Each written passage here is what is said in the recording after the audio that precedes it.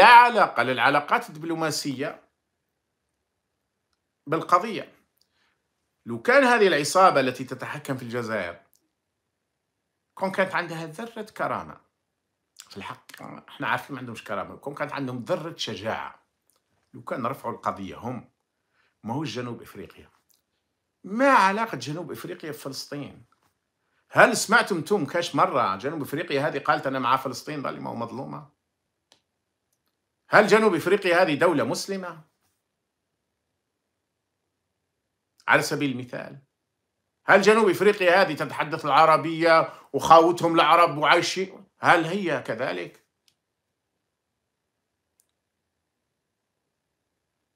جنوب إفريقيا حكامها لم يصنعهم القوى الخارجية لم يصنعهم الغرب أو الشرق. حكام نتاعهم يأتوا من من شعبهم. بكل ما لديهم مشاكل جنوب إفريقيا لكن شعبها هو اللي يجيب الحاكم. إحنا لا هو الفرق. جنوب إفريقيا تعرف أن عندما ترفع قضية أن أمريكا ستضغط عليها وبريطانيا وألمانيا وفرنسا وكل الدول الغربيه تقريبا. مع ذلك تحدت كل هذه الدول وهي تعرف أن تدفع ثمن. وأكثر منها الدول إسرائيل نفسها ستضغط عليها وعندها مع علاقات دبلوماسية وسياسية وتجارية طيب إحنا ما عندناش علاقات لا دبلوماسية ولا سياسية بالعكس كانت الموضوع أسهل. والشعب يعني تقدر تقول 99% من الجزائريين موافقين انكم ترفعوا دعوة، لماذا لم يرفعوا دعوة في رأيكم؟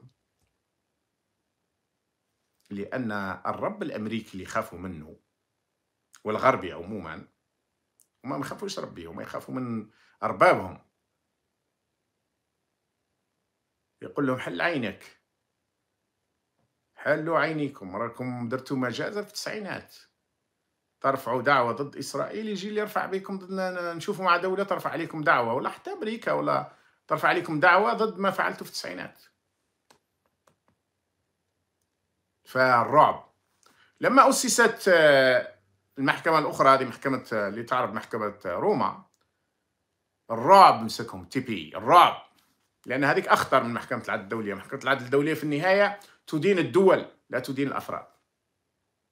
لكنهم حتى في محكمة العدل الدولية كان يمكنهم رفع قضية وكان ثم يظهروا باللي نعم خطابهم ماشي مع أفعالهم. يبيعوا الريح. شعارات. وحتى لو كان يكونوا في نفوسهم أنهم مع صح مع فلسطين وهما هم مع شهواتهم. هم ما هم مع لا مع فلسطين لا مع الصحراء الغربية لا مع الهند لا مع الفيتنام لا مع هم مع شهواتهم ومن يضمن لهم البقاء في السلطة والحكم والمال والنفوذ. هذا وش هذا وش يهمهم. لكن لو كان حتى لو كان ما يقدروش. إن نظاما ذبح شعبه إن عصابات ذبحت شعبها لا تستطيع أن تتجرع على أي كان في الخارج. بل بالعكس الخارج قاعد يتجرع عليها وهي لا تستطيع. إن عصابات ذبحت شعبها لا تدافع لا على دولته ولا على أهل البلاد. ولذلك كان يمكن لهم رفع الدعوة لكنهم جبناء. ورفع الدعوة لا يفترض أن تكون عندك علاقات دبلوماسية مع إسرائيل إطلاقا. والمحكمة العدل الدولية ما هي محكمة الجنايات الدولية. والجزائر كدولة طرف في المحكمة العدل الدولية منذ سنوات طويلة جدا منذ نهاية الثمانينات. باش ما يتلاعبوش بعقلك.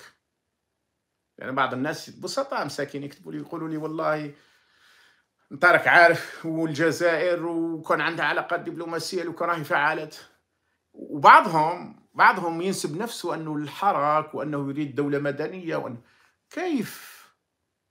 كيف تسكت على نظام أنت تزعم أنك ضده ولكن لما تجي في القضايا الخارجية تولي معاه؟ الذي دمر في الداخل راه السياسة الخارجية مدمرة على البلاد. قبل أسبوعين أو ثلاثة خرجت في مواقعهم الذبابية ومرات في تلفزيوناتهم الجزائر تمنع الطائرات الأمريكية على المرور على آه، الأجواء الجزائرية. قال لك علاه قال لك الطائرات الأمريكية راهي تحمل في السلاح إلى إسرائيل. فالجزائر منعت ذلك. خرجت الولايات المتحدة على لسان أحد متحدثيها امرأة متحدثة باسمها. أعتقد باسم وزارة الدفاع أو الخارجية. قالت المرور عبر الأجواء الجزائرية لم يتغير كما كان حاله. قبل 7 أكتوبر وبعد 7 أكتوبر. يعني الطائرات هذيك اللي راهي تحمل السلاح أكثر من 200 رحلة جوية. أمريكية إلى الكيان الصهيوني تمر على الأجواء الجزائرية. وما كانوا قادرين يمروا على البحر المتوسط ولا حتى على إسبانيا وإيطاليا. ويعاودوا ي... لكن المرور على الأجواء الجزائرية يربحهم واحد 300 ولا 400 كيلومتر. يعني يربحهم واحد نص ساعة ولا 40 دقيقة في السفر. إضافة إلى الكيروزين. فالعصابة لا تستطيع خاصة خاصة بعد صفعة البريكس. وقد كانت صفعة مرعبة.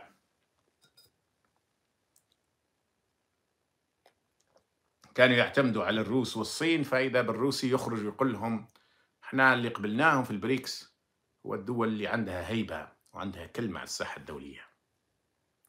وخاصة بعد اتهام القضاء السويسري لنزار الذي قتلوه والآن متأكدين منها اتهامه بأنه مجرم حرب ومجرم ضد الإنسانية هو والذين كانوا معه وإن كان ما سموهمش صح التسمية كانت رايحة تجي.